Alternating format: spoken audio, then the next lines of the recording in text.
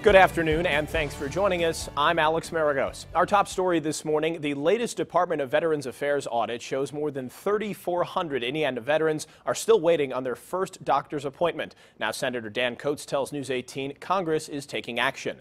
The Senate passed a bill 93 to 3 late Wednesday, which allows veterans to seek care from certain private providers and speeds up the use of 27 additional health care facilities.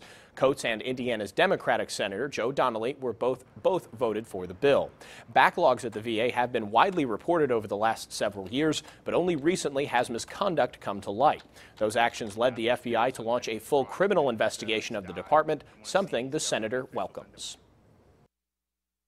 The FBI is one part of an effort here to scrub and look at the entire VA system, see what is wrong, try to fix it and make it right, uh, and take the steps necessary to give our veterans the care they deserve. Senator Coats says he hopes the FBI doesn't find much, but hopes to see deliberate fraud in the VA prosecuted. The Senate will meet with the House and likely put a bill on the president's desk by the end of the month.